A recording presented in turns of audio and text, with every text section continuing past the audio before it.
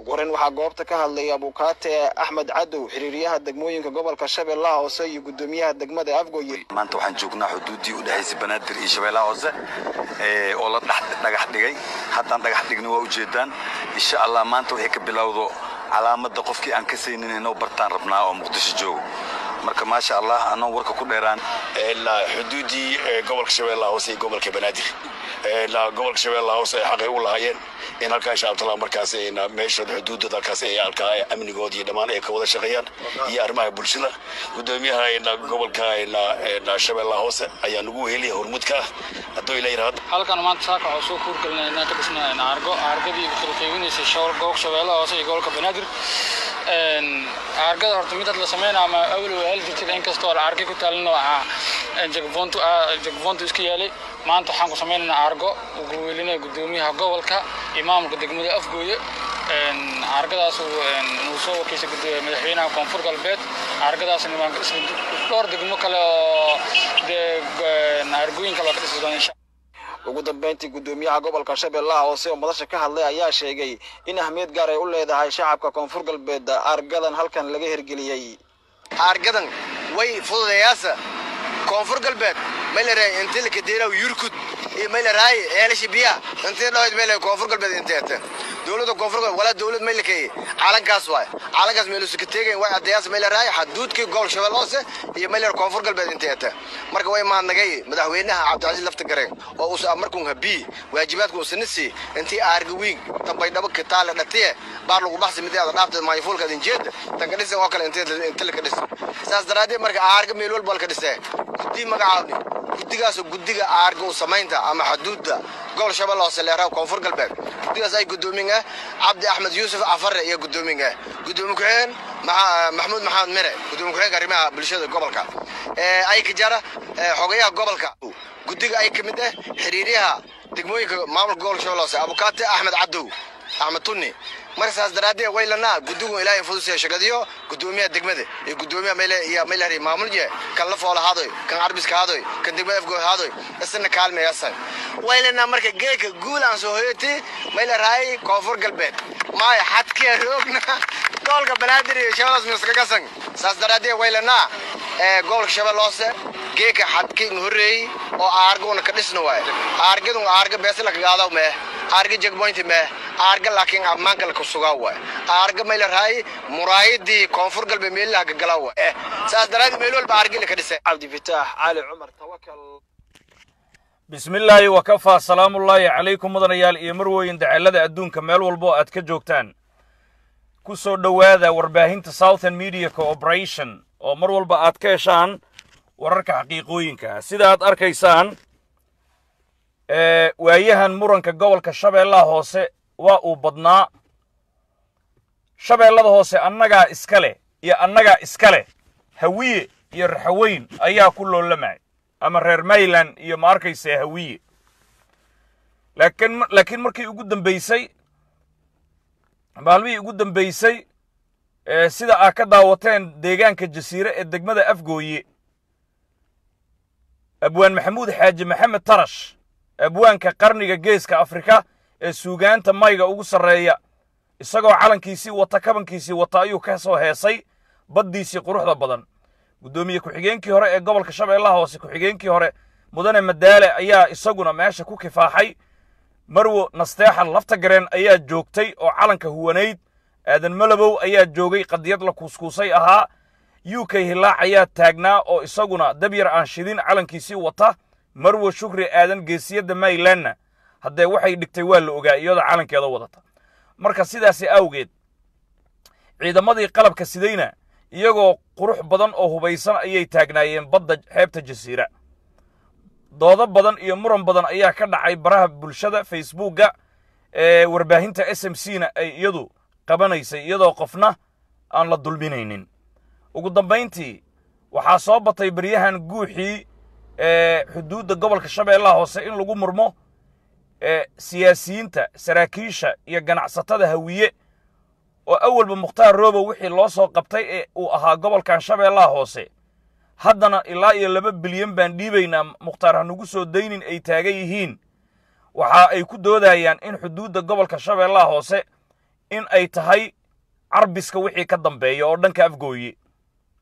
Iyagoo doonaya in ceelasha biyaha ay gudaha gobolka banaadir ay soo gashadaan laysanka macnihii loogu dhufto iyagoo taasi ay ka dabaaqtamayaan maamulka gobolka shabeellaha hoose ee mayland uu hogaaminayo doctor cabduqaadir c d oo nin laba xaniyood oo afariyo tobnaad oo xaniyo kuuskuusan ah oo aan loo dhowaan karin oo balaaya ka dhacday oo aqoon-yahan ah aadna u yaqaana qolyahan siyaasaddooda iska daba wareegooda ee ma arkaysa in badanna macnihii weliba suudaan iyadoo la joogo cabdiraxmaan cabdishakuur warsameeye isagu ay isu feereen kadib markii qud macnihii ay yidhaahdeen shaati guduud waa waagii arareede shaati guduud waa mooryaan mujrim ah isla markaana c d uu yidhi shaati guduud xafidullahu ilaahay ha xifdiyo. Haa sidaasi macnihii c d loo dharbaaxay dagaalamay dagaalkii dhacay taariikhda la ogyahay. Isagaa maantay waxa uu ka taagay isagoo taasi ka dabaaqtamaya xuduudda gobolka shabeellaha hoose calankii mayland aargadii shabeellada hoose iyo gobolka banaadir u dhexeeyey siinka dheer ayay ka taageen marka.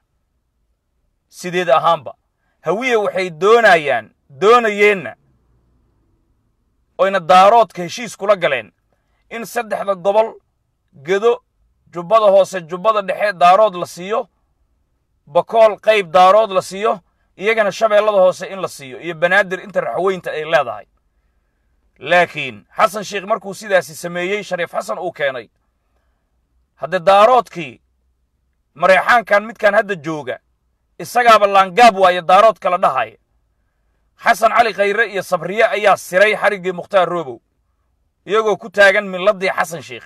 Way u hosgeliyeen uuna ka qoomameeyey xarigga mukhtaar roobow iga qabsaduu taagaya marka sidaasi daraaddeed c d iyo iyagoo ka dabaaqtamaya hawiye sideed ahaanba ilaa iyo shabeellada hoose buurakaba wixii ka sokeey iyagoo raba. Laakiin haddana maadaama danta ay u run sheegtay oy baashu taagan tahay dayra ruuxi qaadaba dayn baa u yaale weli digashadaadiyo sow dhaafka caashaqa dib u soo xasuustee ha igu daaline samiree oo dhallinyarada ragga iyo dumarka maskaxdooda xorowday ee mayland dhalasho beena into intoo loo sheego. Haddana hootada lagu waday oo eelaay baa tihiin la yidhi loogu soo afjaray ciyaarihii hawiye inuusan raxweyn jeclayn.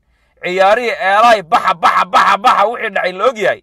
Raxweyntii haddaba maskaxdeedu nadiifay noqotay inaysan caana u shubaynin way arkeen. Waxayna goosteen inay dhulkooda ceshadaan. Cidna macnihii aysan ku raalligaraynin maadaama ay sidaa tahay doctor c d iyo tiimkiisii iyagoo ka dabaaqtamaya. Hawiyihii saacadihii ugu dambeeyey dhahayey carbiska wixii afgooya dhankaasi ka jira ayay xuduudda shabeellada hoose ay tahay. Inta ka soo hoosaysana waa arbacro macnihi waa gobolka banaadir. Iyagoo ka dabaaqtamaya siinka dheer bay dhagaxaanta ku daadiyeen. Meeshaana hadda aa ka dhegaysateen cabduqaadir c d geesiga mayland haa waxaana uu yidhi calankii waa kan. Wax lagu murmaana. Macnihi xagla geel. Wax dembiil lagu qaataa ka weyn. Dhuxdhuxna laguma soo jiidi karo buur dhadhaaba ah. Dhulna ka culus dhulka mayland wax hees lagu dhakriyo dhaanis gabadheed marka sidaasi daraaddeed dhagaxaantii waa kan. Aarga weyn oo isbaaro aan ahayn oo baabuurta aan lacag looga qaadin baa laga dhisayaa. Calankaa laga taagayaa caddaynaya inuu yahay dhulka mayland inkastoo xuduudda sarkuusta iyo macnihii warshaddii kaalkaal ay tahay oo ex control ay u dhowdahay midda sharciga ah haddana siinka dheer ayaa hadda ta aargadii ay dhagax dhigeen calankana laga taagay. Oo baryo aan ahayn oo khudbasiro aan ahayn waxayga anaa leh ah. Waana sida raxweyn in ay samayso la doonaaye gacanna ay ku darta la doonaayo. Jallenjiga inay iska qabato la doonaayo. Marka cabduqaadir c d iyo gobolka shabeellaha hoose dadka jooga shacabka dhiiran ee soo dhaqaaqay waan u hambalyaynaynaa. Waxaan rabaa waxaan doonayaa bal inaan ma arkaysa macnihii aan soo qabto mutaxallil siyaasi. Sheekh qaasim sheekh saalax inaan soo qabtaan doonayaa si macnihii barnaamijyadan socda xuduuddan ma arkayse muranka dhalisay oo laakiin lagu kala baxayo markaan erey iyo laba uu noo dhaho. Muddo waxaan siin doonnaa toban daqiiqo ama shan iyo toban daqiiqo. Sheekh saalax sheekh qaasim soo dhowow.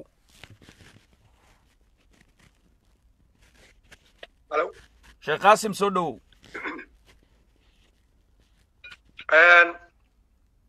Waan dhawahay aadano waa ku salaamayaa ummadda soomaaliyeed dhammaanna waan salaamayaa oo ay ka kooban tahay mayga iyo maxaatiriga meel walba ay joogaan. Runtii waxaan u malaynayaa ilaahay inuu nagu yidhi waquluu qowlan sadiidan hadallada runta ah laazima ama dhaha mar walba yuslix lakum acmaalakum acmaashiina way hagaagaysaa oo marba haddaa runta aad sheegaysaa. Soomaaliduna waa dad muslina oo weliba mu'minnimo sheegata. Muslin iyo mu'min sida walaalkay horeyba u sheegay ama kelimadda muslin ama islaam. Muslim horta waxaa la yidhaahdaa magaca muslim man nebigaaba fisiray wuxuu yidhi man salama almuslimuuna biyadihi wa lisaanihi. Ninkii gacantiisa iyo afkiisa laga nabadgalo ayaa muslina meesha wixii bixi kara waad fahmi kartaan soomaaliya marka muslin ma tahay mis ma aha. Adaa miisaan saari kara. Nebigu wuxuu yidhi almuslimuuna almuslim man salama almuslimuuna biyadihi wa lisaanihi alislaamu sida walaalkaygaba idin sheegay kheyr allah siiyo aadan cilmigiisu anigu kolley intaan hadda aan arkay waa mid aad u sareeya waayo markuu sheegayey alislaamu waa xaqiiqo weeye islaamna yaa la yidhahdaa islaamku aadan wuu sheegay laakiin islaamka nin kastaa soo geli kara islaam waxaa soo geli kara tuuga waxaa soo geli kara mujrimka wuu sheeganaya macnaha magaca islaam wuu ku soo gaban karaa sida hadda shabaabka ay dadku ku hayaan. Magaca islaam laakiin magaca muslin iyo magaca mu'min waa derajooyin wey. Ninku muslin horta ko waa islaam waa muslim waa mu'min. Mu'minka derajo la gaari kara ma aha maba la sheegi karaba waa derajada ugu dambayso. Mu'miniinta marka lagu leeyahay inama almu'minuuna marka lagu leeyahay mu'minku waa derajada ugu dambaysa hadda. Waxaa la yidhahdaa mu'minka ilaa sagaal sifo uu leeyahay ama toban sifo oo ilaahay uu ku sifeeyey waladiina hum can salaatihim qad aflaxa almu'minuun aladiina hum can salaatihim khaashicuun waladiina hum lifuruujihim xaafiduun. Hataa farjigiisa kaan xifdinaynin mu'min maaha wuu iskaga dhex jiraa islaam muslim islaam intuu noqonay laakiin mu'min ma la sheegan kara. Waatuu ilaahay leeyahay waqulu aslamna walaakin laa taqulu maxay ahayd mu'min baa nahay hadhihina waxaad dhahdaan keliya aslamna. Waa islaamnay ilaa mu'minka derajo la shaqaysanayo waa generaal meesha ugu dambayso oo la kasbado islaamka waa mu'minnimo. Marka ulajeedadaydu waxay tahay horta yaa muslina yaa mu'mina yaa islaama. Intaas marka macnaheedu waxa weeyaan haddaad muslim tahay gacantaadii afkaaga ma laga nabadgalay marka muhimmaddu waxay tahay haddii muslimnimo la wada sheeganayo iyo mu'minnimo haddana hataa mu'minnimada waxaa ka mid ah nabiga muxuu yidhi unsur akhaaka unsur akhaaka musliman ow mu'minan dhaaliman ow madluuman. Haddii asiga la dulminaayo asiga dad dulminayo u gargaar. Asxaabtu way yaabeen xadiidkan markay arkeen waxay dhaheen yaa rasuulallah markaan gaalada ahayn walaalkeen waxaa hadduu asiga gardaran yahay waan duulaynay waan u soo caaraynay. Laakiin hadduu haddina haddii hadduu asaga laga gardaran yahay hataa waxaa leeyana garabaan siinayni ma sidii baa islaamkana ma sibba asagana sidii miya oo hadduu gardaran yahay hataa garab inaan siina miya oo qoryadeena aan wada qaadana seefafkeeni aan la dagaalano asoo dad dulminaya aan u jeedno lilan unsur akhaaka dhaaliman oo madluuman baa la yidhi. Asoo la dulminaya asoo dad dulminayaba u gargaar. Nebigu waa u kala bixiyey marka. Wuxuu yidhi markii la dulminaayo idinkaaba sheegteen garab siya laakiin markii asiga dad dulminaayo seed ugu gargaaraysaan. Waxaa ugu gargaaraysaan. Hadal cad buu sheegay nebiga.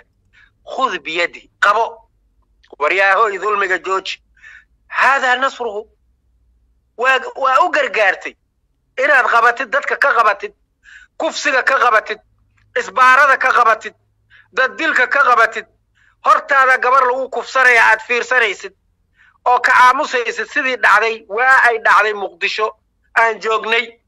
Looma ooyaan dadka loo bixi looma caare. Waxa dhan waa dulmi. Adigaa mu'minnimada kaa saaraya ninkaan hortaada wax ku dilaayo aad fiirsanaysid. Adigu wuxuu kaa saarayaa mu'minnimadii wuxuu kaa saarayaa islaamka. Laakiin uma jeedid khud biyadi nebiguu ka hadlay iska qabta dulmiga. Haddaadan qabanin wuxuu yidhi nebiga waa laidin iqaabi doonaa. Kadib kadib aad caalabari doontaan. Uma yadcuuna lahu fala yastajaaba lakum. Laidinma ajiibaayo.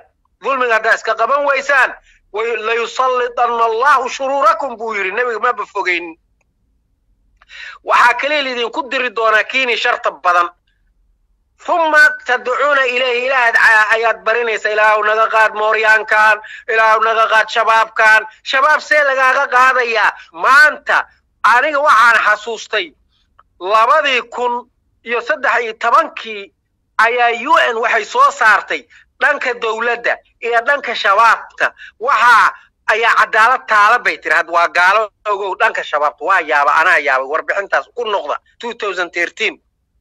ilan shabaabka agtiisa wax laguma kufsado. Ilan shabaabka agtiisii wax laguma dhaco. Ilaan waxa maxkamadda loo aadayo dowladda loo jeedaba shabaabku intaasay ku roon yihiin. Shabaabka haddii gabar habargedir ah nin jareer guursada lagama furo mana loola hadli karo waatay leeyihiin macaawisley dagaalano gabadheeni sii jareer weyne u guursanin. Iyo waxay dhaheen americay ka soo gaaleen niman hadda la leeyahay shaalaley miya maaqan macaawisleyda u fiirsada marka la abaabulahay khudbadooda waxaa ku jirta waa shabaab la dagaalanaa haye maxaan kula dagaalamaynaa? Gabadheeni jareer weyne si loogu darinay dheheen iyo nin american horta wuxuu leeyahy gaala si gabadheen nin american loogu darin. Jareer weyne loogu darin. Jareerta gabdheena la siinaya iyo eelayda meesha waxaa ku cad shabaabka agtooda in haddana midib kala soc uusan jirin sida islaamka qabo. Taas maxay ku tusaysaa marka? Dhibaatooyinka muqdisho yaalla wixii la mid ah iyo naaxiyadan iyo dowladda dhexdeeda dhibaato aad u culus inay tahay oo lagu qanci karin oo gabdho la soo dilaayo oo banaanka la dhigaayo oo baaritaankeeda ilaa hadda dad uma haynuu yidhi gadoomiyaha maxay ahayd ciidanka maxay ahayd ninka ciidanka booliiska haysta ina shuutama mid oo hadda magaciisa ma aqaan oo meelaha ka qaasim xuduudan ayay diiradda saaran tahay. Xuduuddan gobolka shabeellaha hoose macnihii maanta doctor cabdiqaadir cd iyo maamulkiisu way dhagax dhigeen. Calankiyaa ka muuqda aarga weyn baa laga dhisayaa waa siinka dheer. Dadna waxay taagan yihiin annagaa iska leh. Haddana waxay leeyihiin afgooye arbaca carbiska wixii ka dambeeya ayaa shabeellada hoose ay ku eg tahay wixii ka soo sokay oo gobolka banaadir.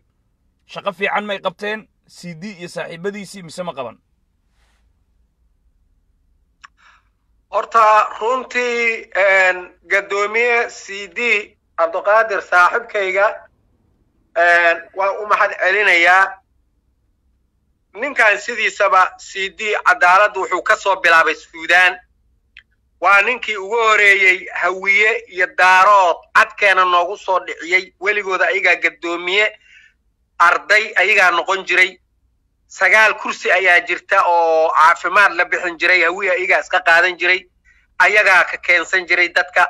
Laakiin c markuu gaaray suudaan waa ninka sameeyey gadoomiyaha ardayda dhigata suudaan sagaal boqol gadoomiye in laga dhigo digil iyo mirfle koonfur galbeed aysan jirin magacaas hataa asaa sameey haddaan dhaho waa dembi ma aha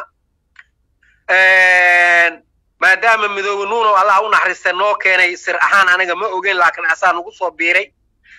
D runtii arrimaha uu hadda sameeyey waa arrimo loo baahnaa jahwareerka ka taagnaa koonfur galbeed iyo shakiga iyo murunka ka jiray ayay kala saaraysaa nimanka sheeganaya koonfur galbeed dhulkooda qaar ka dhulkeedii qaar ka mid ah nimanka sheeganayo. Sheekh qaasim labaan kala qaadaynaa labaan kala qaadaynaa. Xuduudda gobolka shabeellaha hoose iyo waxaan kala qaadaynaa xuduudda reer mayland. Reer mayland xuduuddooda masiinka dheeraa mise waa arbaca rukun qowmiyaddaasi. One point. Waxaan ka hadlaynaa hadda labada gobol. Ilaan labada gobolba waxaa iska leh raxaweyn gobolka shabeellaha hoose iyo gobolka banaadir waa laba gobol oo iska leeyihiin qowmiyadda raxaweyn qabiilka raxaweyn ee qowmiyadda mayland hadda macnihii muran waxaa ka taagnaa xuduudda gobolka shabeellaha hoose iyo gobolka banaadir baa doodi ka taagnayd. Shabeellada hoose macnihii afgooye ayay ku eg tahay hawiya sidaasay lahaayeen.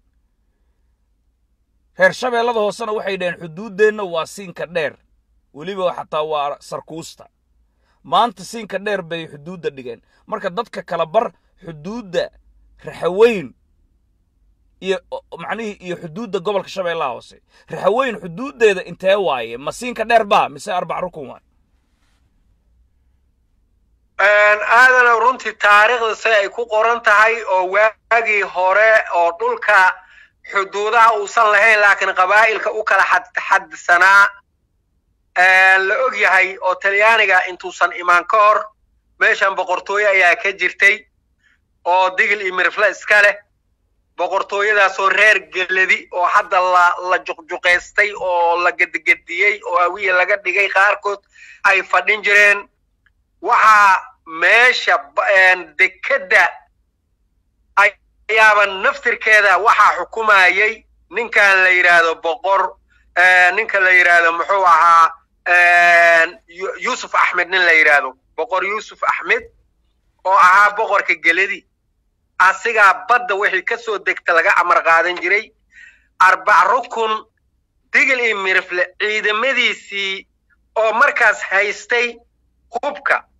Sida fallaarta qaansada meeshay fadhin jireen. Waagaas axmed yuusuf ninka la yidhaahdo ou la dagaalaya biimaal biimaal ayaga wax kale kuma dagaalamayno. Xuduud baa lagu dagaalamaya sida awoowayaashan inoo sheegeen biimaal waxaa hogaaminaya nin la yidhahdo macalin kabtoole oo asaga naftiisa dilay sida la sheego oo maya oo la dilay ama asaga dilay oo marka waxaan maqlay awoowaheena nooga sheekeeyey madax dad misgu lagu beegayo badar. In macalin kobtoole madaxiisa ahaa ama in axmed yuusuf madaxiisa ahaa labadooda midkooda sheekh qaasim xuduudda gobolka shabeellaha hoose iyo banaadir macnihii waa sarkuusta iyo siinka dheer meesha la dhigay hadda dhagaxaanta laakiin xuduudda raxaweyn ma siinka dheeraa mise arbac rukun? Waa arbac rukun xaqiiqada. Xamarna waa saa sheegtay digil iyo mirifle ayagaa iska lahaa. Hawiyahan maba joogin waxaa jirtay taariikhda ku qoran tahay oo la og yahay hawiye markuu xamar soo gelaayo subaxdii lugta lugaha nuuriya loo gelin jiray. Odaygaas haddaaba ku siinaya taariikhdaas wuu nool yahay. Daraad waa isku soo sawiray madaxtooyada agtiisa soo jooga anaaba la yaabay taariikhda gacanta ku hayo. Hawiyaha subaxdii lugtiisa nuuriya la gelin jiray. Si garabtii loo soo sooco magaalada loogu soo bixiyo magaalo ma jirin keliya xamar weyne ayaa suuqa ahaa reer xamarkaas agtiisa xarneed. Hawiyaha waxay ka imaan jireen baadiye meelaan dhoweyn iyo weliba xataa meesha la leeyahay hadda shabeellada hoose shabeellada dhexe hataa ma deganayn. Jawhar waxaa deganaa nin nasiibunda la yidhaahdo eyle inuu yahay u malaynayo ayaa xukumayey waxaanoo dhan xoog iyo qajajac iyo warshad baa meesha la geeyey talyaaniga ay la heshiiyeen nimankan talyaaniga gabdhay siin jireen dhulka saasuu u siin jiray. Waad ogtihiin hibil iyo hiblaayo talyaana u saarnaa. Soomaalida talyaaniga dhalay oo talyaani hadda joogta tiradooda.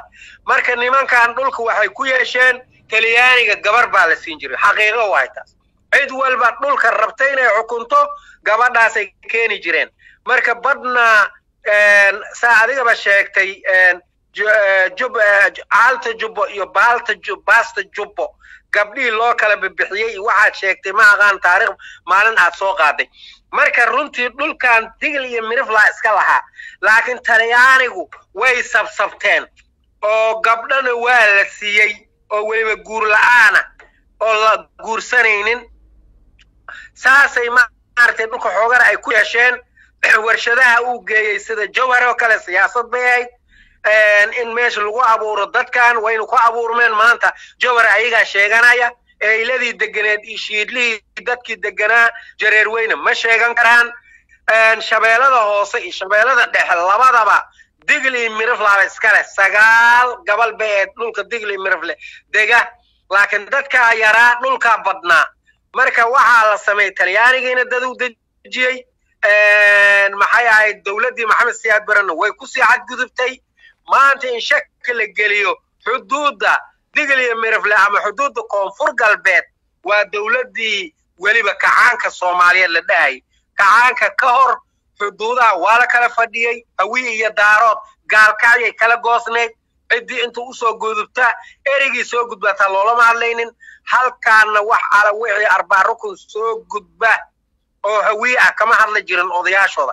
Laakiin way nagu soo faafayeen way nagu soo faafayeen way nagu soo faafayeen.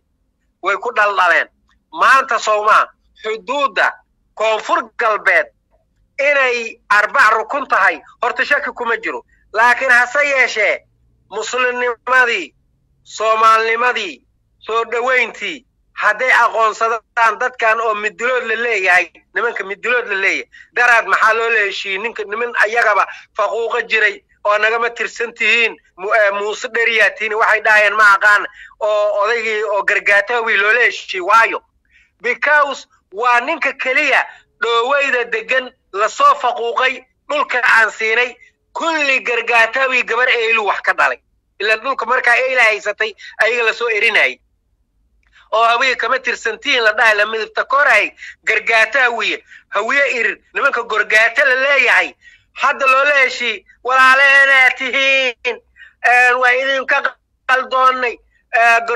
Ogaaska guud gorgaata idin magacaanu waa nimanka keliya shabeellada hoose. Nugula dagaalamo kara waay. Oo ku leh wasiiro sida wasiir ku-xigeenka caafimaadka nin gorgaata ah waay. Daraada soo aragnay. Waa nin gorgaata hawiye ah oo nimanka la yidhaahdo muxuu ahaa maxay ahayd wax magacooda ma aqaan qabiilka la yidhaahdo alla waa hilmaamay dab miya silac silac miya silac silac silcis sile. Ha marka gorgaataa daraa loo yeerayay walaalkeena hawiyow waa ku waa waxaa la ogaaday dadka u badan hawiya sheegta dhooweyda dega shabeellada dega waa gorgaataas aniga kula hadlaya eedadeyda oo oo aabbeega la dhashay waxaa carruur ilaa toban gaarays u dhalay nin gorgaata hawiya hawiya samaale aniga marka markaas gorgaata ma aqaanin wuxuu yahay ma aqoon laakiin aboobayaashaydii gabdhaha way siiyeen.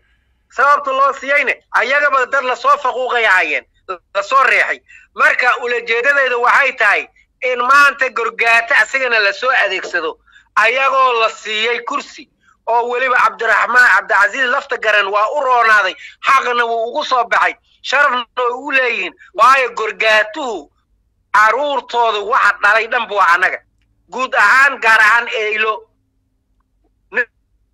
nin gorgaataha dhan hooyadiis waa eylo meesha sababta eylada u guursadeenna waxay tahay dhulkaas waamo dhoobey baa la yidhaha ayagaaba deganaa marka waxoo dhan isku soo dub aadanow hawiye.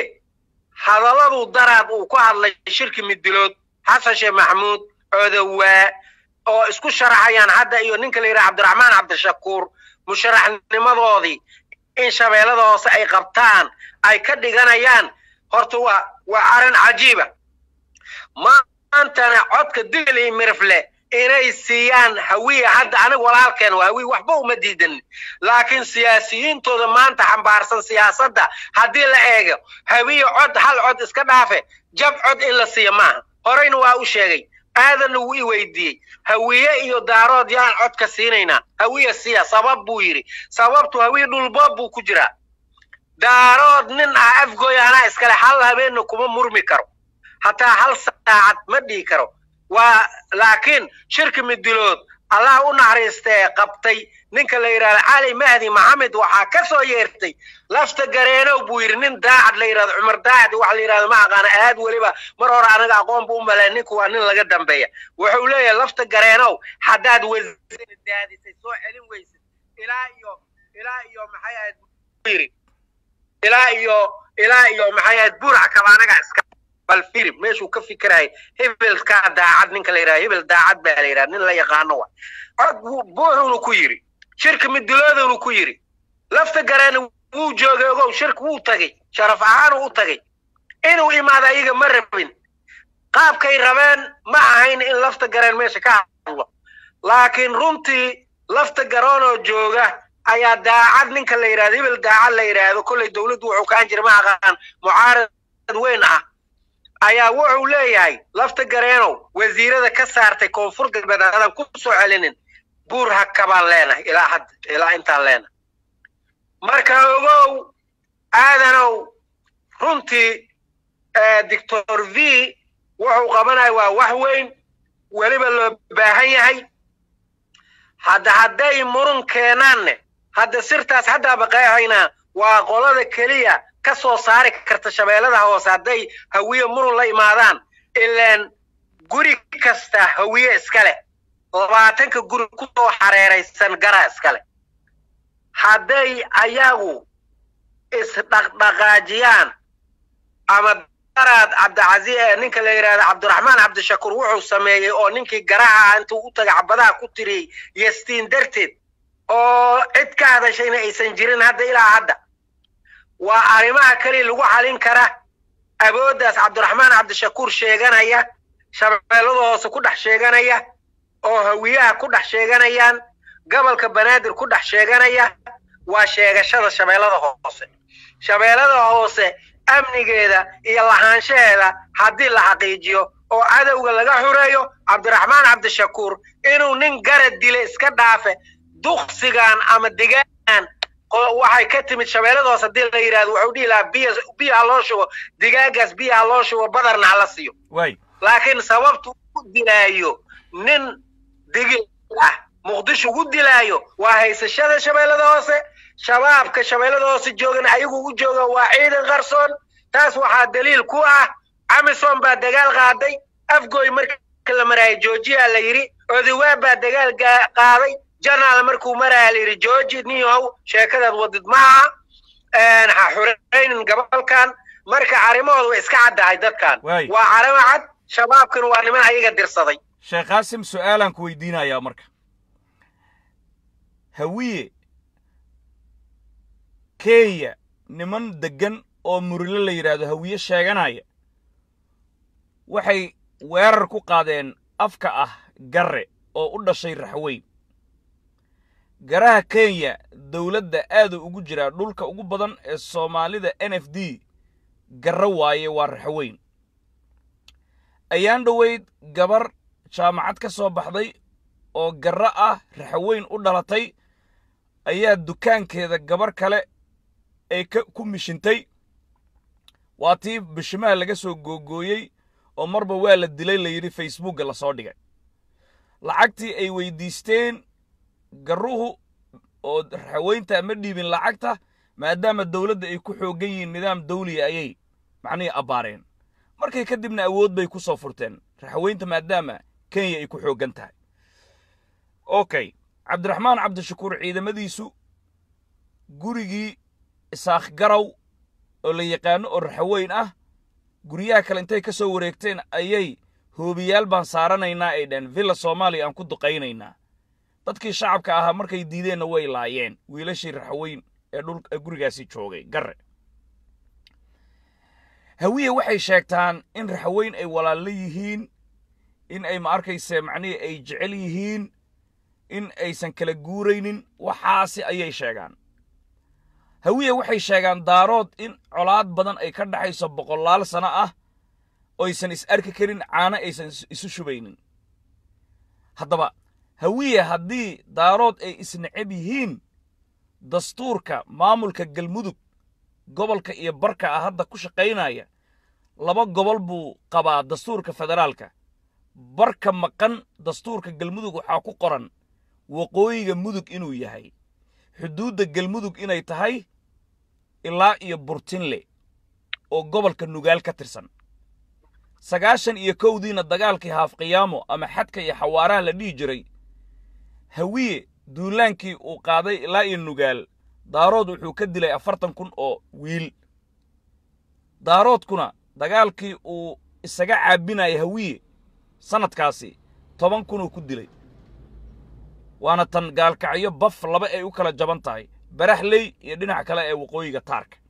Su'aashaydu waxay tahay marka hawiye markuu itaalaysto oo codadka aan siinno walaalaan nahay una yidhaahdo sidii xasan shiikh oo kaleu noo gelayaa nin daarooduu dhulkeenna siinayaa calanka markaan u dhiibno.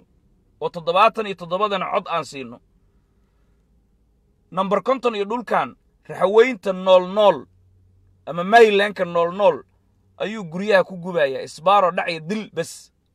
Su'aashaydu waxay tahay marka hawiye haddii daarood colaadi ay kala dhexaysa sida uu sheeganayo run ay tahay galmudug dastuurkeeda waxaa ku qoran gobol iyo bar barka ilaa iyo burtinle inay tahay. Waay teedhisabannada iyo suugagga intuu qaato. Hawiye muxuu u xaqiijin waayey xuduudda galmudug ilaa iyo burtinle. Oo sababta keenaysa maalin kasta inuu macnihii raxaweyn keliya u xooggan yahay. Uu u dhahayo arbac rukun idinkama lihidiin. Shabeellada hoose idinkuma lihidiin. Jasiire idinkama lihidiin. Haddana walaalaa nahay codkiinnana isiiya. Macnihii hawiye walaaltinimada uu sheeganayo iyo cadowtinimada uu sheeganayo inuu daarood u qabo maxay tahay? Sheekh qaasim.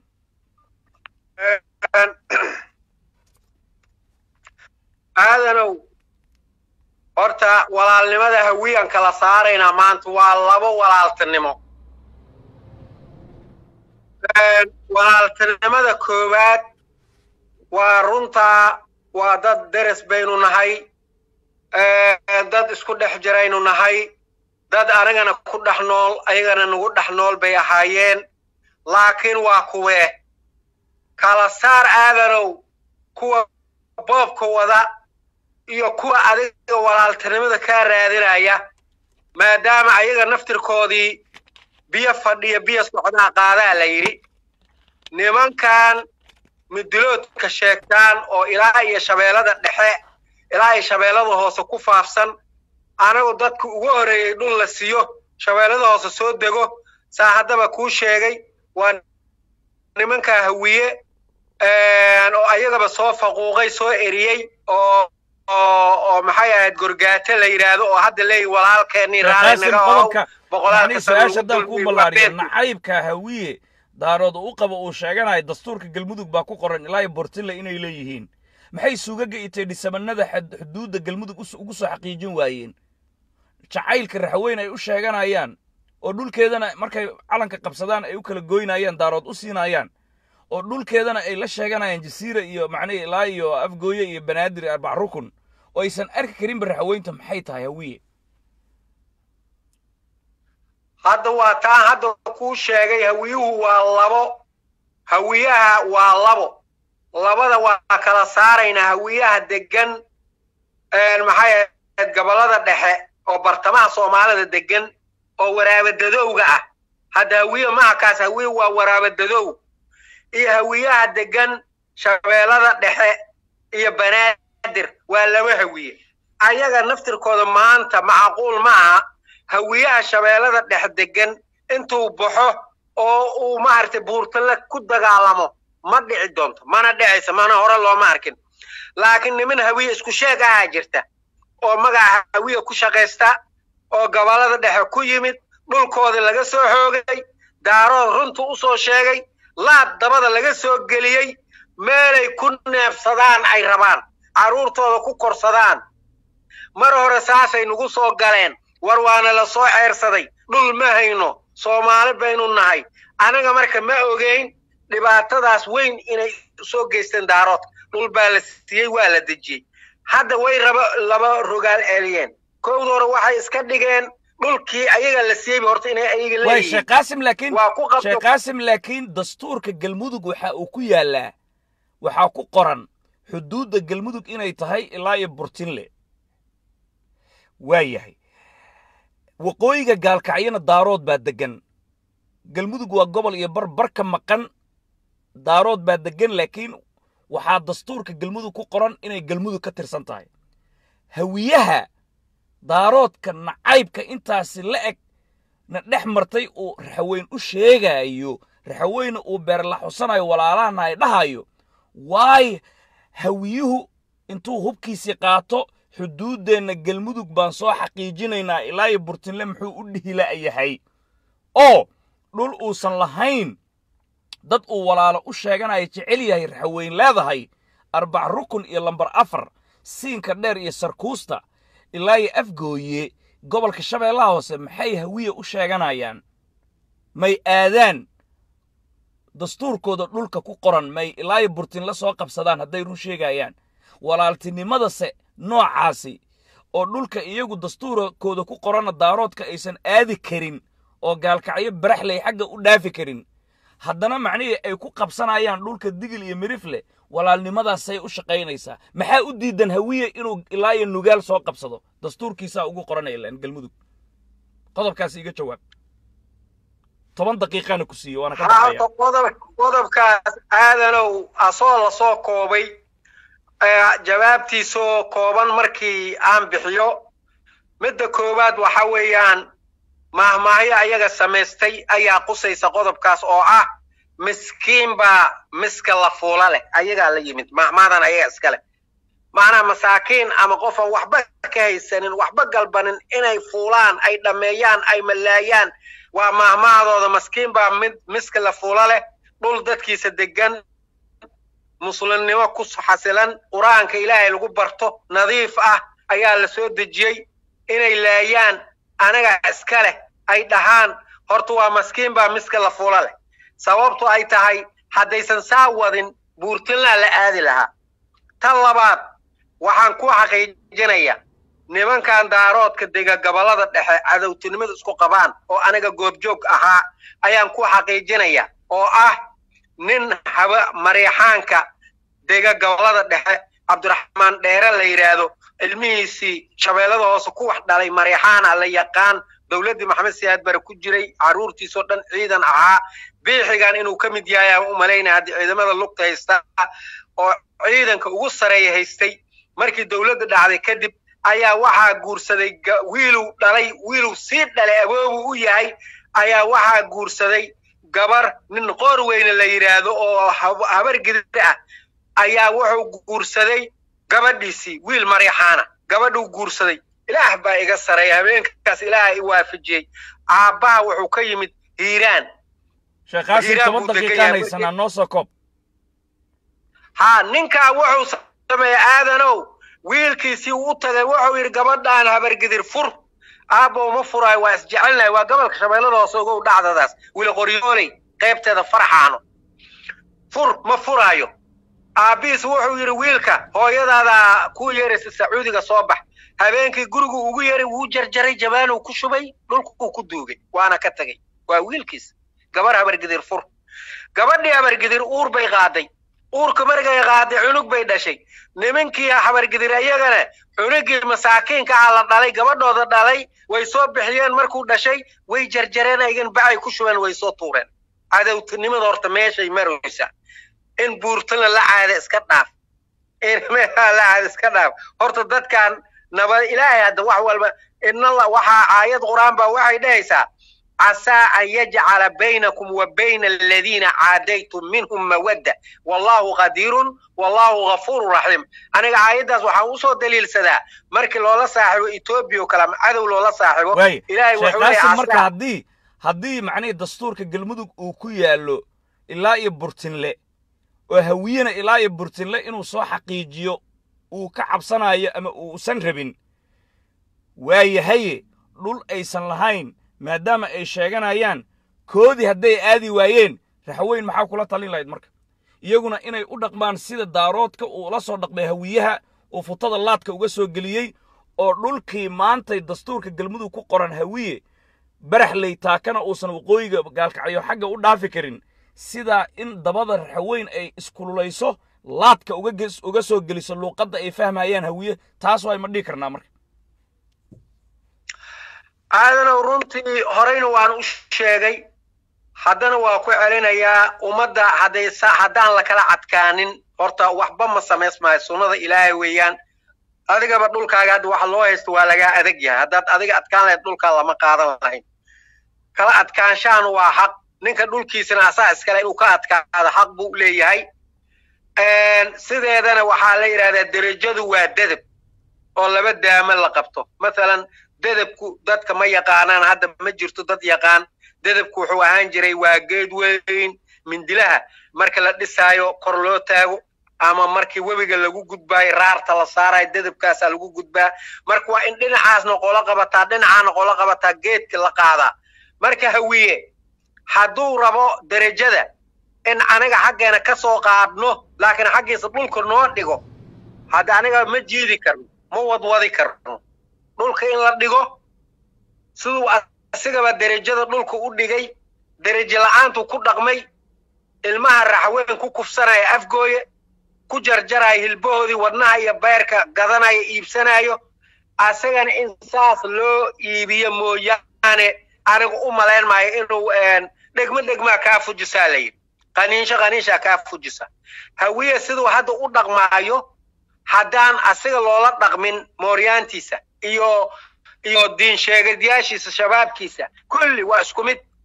Haddaan loola dhaqmin waxaan u malaynayaa in nolosha digil iyo sax aysan ahayn nololna aysan ku jirin ayadoo layska qabanin mooryaanta hawiye hadday ayaga qaban lahaayeen horeyna aan u sheegnay xadiidka oo nebigu uu yidhi khud biyadihi unsur akhaaka daaliman ow madluuman ayaga qabanin mooryaantooda.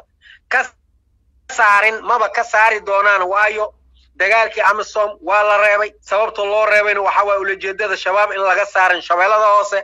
Dagaalkii oday waa daraad uu qaaday oo oo amray madaxweynaha xakad baa la geliyey sababaha loo geliyey waxay ka mid tahay wuu u jeedaa madaxweynaha kama hadli karo. Laakiin hawiye inay macnihii sheegtaan gobolka shabeellaha hoose xuduudda macnihii haddana inay dhahaan carbiska wixii ka soo sokeeya annagaa iskale banaadir ay ka tirsan tahay inay dhahaan inkastoo banaadir raxweyn ay kala bar leedahay oo haddana ay sheegan waayaan ilaa iyo burtille oo dastuurka galmudug ku qoran. Taasi jacayl raxweyn ay u qabaanna ay sheegtaan. Ma anfacaysaa walaaltinimada ay sheeganayaan sidaas? Hadda walaaltinimo oo oo walaaltinimo oo waxaagan qaadanaya dhehaysa adduunka ma jirto. Walaaltinimada la sheegay waxa weeyaan walaalkaagu wuxuu asiga raalli ku yahay inaad ka qaadatid mooyaane waxaan asiga raalli ka ahayn inaad ka qaadatid diin mid muslin iyo mid gaalaba. Ma dhigto gaaladan anaga hadda la joogno shan boqol sano ka horay dhulkan soo degeen waxay sameeyeen wax la yidhaahdo waxay sameeyeen maalinta soo dhoweynta magacay ugu dareen. Een, waxay yidhaahdeen eh, waxay yidhaahdeen tangis giffin day bay dheheen tangis giffin day maalintii anaga nala soo dhoweeyey weeyaan dhulkan anaga ma lihin dadkii nagu soo dhoweeyey waxay sameeyaan maalintaas. Digaaggii loo qalay ilan digaag baa joogay dhulka. Digaagaasaa qasriga ama ma- aqalka cad ee madaxtooyada maraykanka lagu qalaa. Madaxweynaha waa inuu iibsadaa digaagaas iyo galley. Nimankan galley bay beeran jireen oo la yidhaahdo maxay ahaayeen la yidhaahdo maxay ahaayeen americanka eh, maxay ahaayeen aniga soomaalida waxaan u naqaanaa alabesteen laakiin waxaa la yidhahdaa indian american. Dadkii dhulka loogu yimid bay ahaayeen dadka soo dhoweeyey waxaa loo sameeyey maalin ilaa iyo madaxweyne ilaa cadaankao dhan aqoonsadaan oo la yidhaahdo maalintii nala soo dhoweeyey Tan- thanksgiving day. Xataa intaas lagama hayo ayagoo muslin ah ayagoo muslin ah inay qiraan walaalahooda u qiraan. Digil iyo miriflo waadna soo dhoweyseen. Walaalaheenaad tahay waxaa rabtaa nadhaha waxaa rabtaa nagu samaysta dhulkiina idinkaa iska leh daraad waa taad shabeelladoos yaa leh. Aad tiri ama jaziira yaa leh. Wuxuu ku leeyahay dhulka idinkaa iska leh laakiin maamulka anigaa iska leh. Waa war cajiiba dad dhulna adiga aadan lahayn aad maamulkiisa u sheeganaysa. Anigaba gaalkacyo ma sheegane. Marka waa wax oo iska cad oo caruurtana shabaab weeye waxan waa laga dhaadhici shabaabkan maaha macneeda. Dad diin meesha u joogo. Waa dad dhulka meesha haya waa. Haddaaba kuu sheegaya dhulka lagu ilaalinayo ayagaa lacagta siiya ayagaa fangareeya ayagaa meesha ku haya. Madaxda xasan sheekh maxamuuda ugu weynaa shabaabka saaxiib uu lahaa. Madaxtooyaday ku jireen madaxtooyada lagu qabanayay qaraxii madaxtooyada la soo gelinayay ninka soo geli waa ninka madaxtooyada gacanta ku hay u ahaa oo wiilka waad aragtay xasan iyo wax la yidhaahdo way la shaqaysanayeen ribaayadaha la dhigaayeen waxaa ka mid ah laba shabaab inay wada shaqaystaan. Shaki maa kaaga jira. Damul jadiid codowaa markay gacanta ku hayeen maxay dowladda soomaaliya shabaabku sheekh shariifna galaduu ka galay waad og tahay markii maxaakiimta lagu soo daray ugu dambayntii laba daqiiqaan haystaa ee shirarka hawiye ay qabsadaan mar walba waxay ku soo dhex daraan ilaa iyo buuraha kaba wixii ka hooseeya annagaa iska leh. Mana lahan raxweyn baa iska leh. Walaalaan nahayna way ku dhahayaan codadka markay kaa rabaan. Hadday kursiga fuulaanna sidii xasan shiikh lixda gobol u kala gooyey ayay u kala goynayeen dhulkaaga daarooday siinayeen su'aashaydii ugu dambayntii waxaa weeye shirarka hawiye ay qabsanayaan dastuurkooda galmudug ilaa iyo burtinla ku qorane annaga ilaa iyo burtinle waa inaan xukunnaa waa in nimankaasi macnihii ay annagana hoos yimaadaan. Maxay shirarkooda ugu soo dari waayaan hawiye?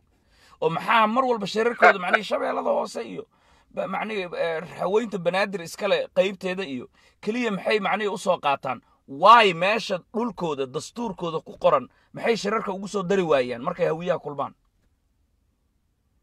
Adeerow siday muuqato ajantaha waa lagu soo daraa. Qoorqoor in lagu soo dhoweynayo waxaan oo dhan waa lagu soo daraa. Laakiin hawiyaha miduloodka la yidhahdo mar horan waa kuu sheeg waa laba hawiye dadkan arrinta marka waxaa dhacda sheekadii ninkii la dhihi jiray muxuu ahaa ninkii la dhihi jiray eh, ninkii dhibka badnaa wiilwaal wiilwaal baa la yidhi neef dhan marka la qalo reerka loo qalo asaga xukumayo marka wuxuu qaadan jiraa la yidhi laba cad. Qaybta saddexaad buu siin jiray dadka qaybsada. Waa lagu heshiiyaa la yidhi waxaa la yidhi wiilwaal arrintan ma anfacayse? Waa in la yidhaahdaa wiilwaalow labadii cad mid lagaa reeb. Waxaa la yidhi hal qof ma dhihi kara ereyadan way badan yihiin qoortuu ka jiraya. Saddex qof aan iska dhigno wiilwaalow nin ha yidhaahdo labadii cadna mid ha yidhaahdo mid lagaa reebna mid ha yidhaahdo oo kay baa la yidhi waa lees raacay wiilwaal baa loo tagay. Wiilwaalow baa la yidhi heeb buu yidhi wuu soo jeestay. Labadii cad oo hashi heeb buu yidhi seeftan wuu soo siibtay warankan wuu soo diyaarsaday. Mid lagaa reeb meeshii la rabay wuxuu yidhaa la yidhi midka saddexaad lagu balmay mid lagugu dar buu yidhi. Markuu seefta arkay la soo bixiyey marka hawiye saasaa haysata waa la soo shirayaa buurtanla laga hadlayaa hawiye dhul baa ka maqan wiil waalow hee labadii cad hee meeshii la rabay buurtanla anagaa iska leh waxayba leeyihiin gaalkacyin lagugu dar. Ma dhihi karaan waa beentood gaalkacyin lagugu daraa taalla. Marka saa wey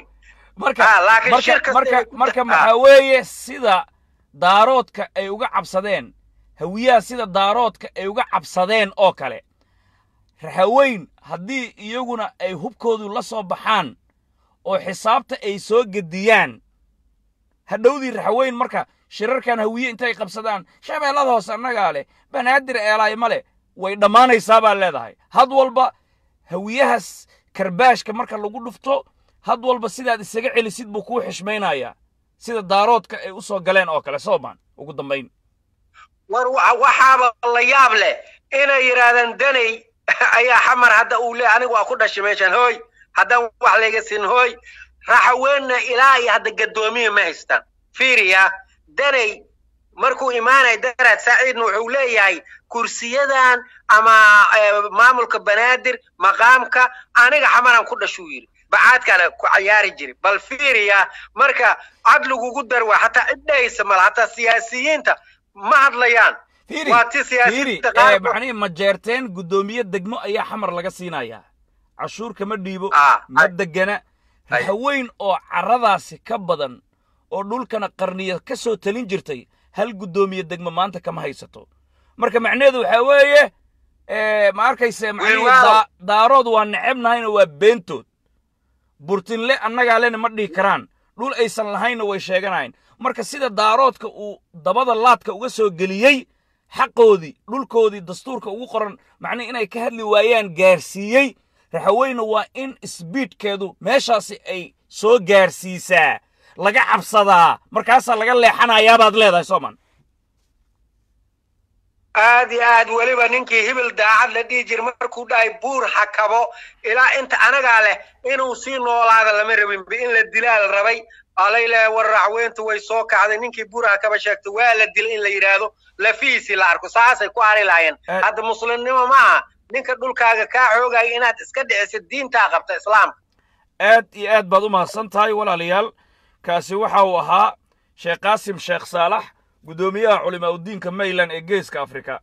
Meeshan waa jasiira. Labada kun iyo afar iyo tobankii ayay ahayd markii deegaanka jasiire ee degmada afgooye maxjar uu ka dhisay guddoomiye ku-xigeenkii hore ee gobolka shabeellaha hoose waxaa ag taagan brofesor saalim caliyow ibrow oo ah ee ra'iisul wasaare ku-xigeenkii hore ee dowladda federaalka soomaaliyeed ahna wasiirka maaliyadda oo u dhashay mayland oo hadda ma arkaysa xildhibaan ah iyo weliba guddoomiye c d labada kun afar iyo tobankii waa kan. Waa kuwan. Kolley facebookgana waad ku aragteen waana soo dhigi doonnaa. Waa deegaanka jasiira ee degmada afgooye gobolka shabeellaha hoose maxjar ay ka dhisaayaan marka lahaanshaha dhulkan in lagu murmo macnihii wax meesha qabta maan. Waxaan u mahadnaqaynaa mar kale oo aan u hambalyaynaynaa guddoomiyaha gobolka shabeellaha hoose doctor cabdiqaadir c d halyeyga geesiga ah. Macnihii afariyo tobnaadka xaniyaha kuuskuusan islamarkaana maanta macnihii ka jawaabay xuduudda gobolka shabeellaha hoose markay hawiye dhaheen afgooyay ku eg tahay isaguna macnihii dhagaxaanta ku daadiyey ta macnihii aargadana laga dhisaayo oo calanka uu ka qatomiyey c d isaga iyo maamulkiisii waan u mahadnaqaynaa. Marka raxweyn tusaale ku filan iyo cashar ku filan sheekh qaasim baa u dhameeyey oo hawiye galmudug inuu iska leeyahay ilaa burtinle dastuurka ugu qoran tahay. Shirarkooda maalina kuma soo daraan oo gaalkacayo waqooyiga gaalkacayo laba taaka ma gedin karaan iyagoo qoryo wata. Way ka cabsanayaan. Garoonka gaalkacyo ku yaalla oo degmadaasi uu ka dhexeeyo garoonka markay aadayaan qoryaha waa laga dhigaa iyagoo shibil ah ayay ka soo degaan ayna ka dhoofaan. Marka sidaasi awgeed nin gaalkacyo garoonkeeda isagoo a k wata tegi waayey degmada uu degan yahay shabeellada hoose inuu sheegto toddoba boqol iyo konton kilomitir. Waxaa weeye ushiisi ishiisi laga arkaa ushiisi lagu tumaa waaye raxweyn iyadaa lagu jira ha istoosiso dulmigana wuu dhammaanayaa c d na waxaa weeye dawada uu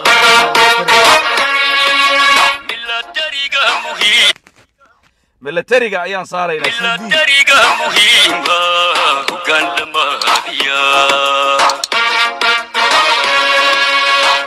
c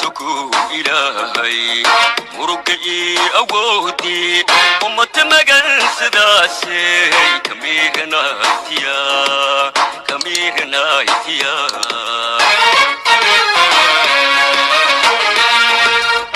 milatariga muhiima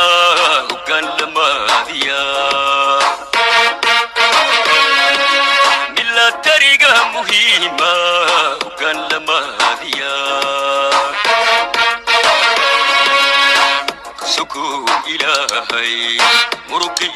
awooti ummata magansidaase kamii ganaatiya kamii ganaatiya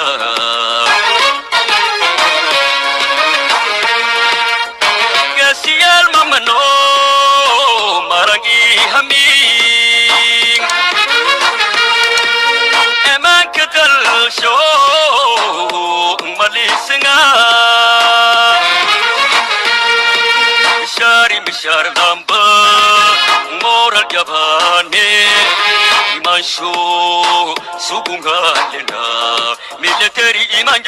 红岸。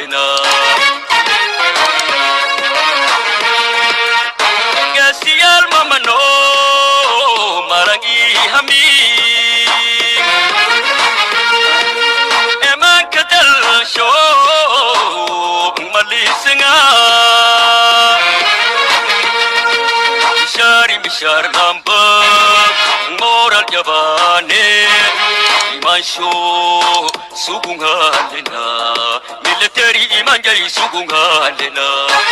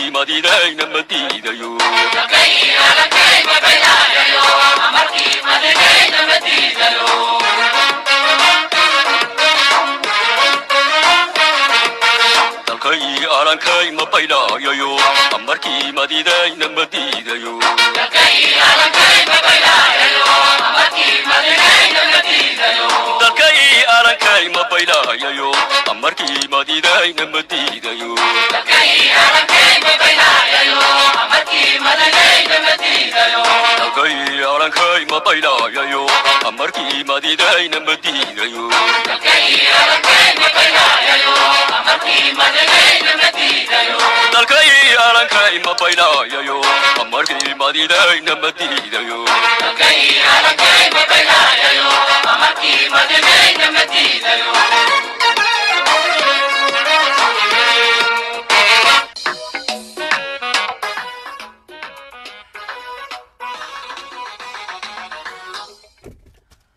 halkaasi ayaanu ku soo gebagabaynaynaa barnaamijkeennii ee daqiiqadaha badan socday islamarkaasna xaqiijinta xuduudda gobolka shabeellaha hoose ee mayland ee ula wadaaga gobolka banaadir ee mayland aan ma arkayse ku faahfaahinaynay.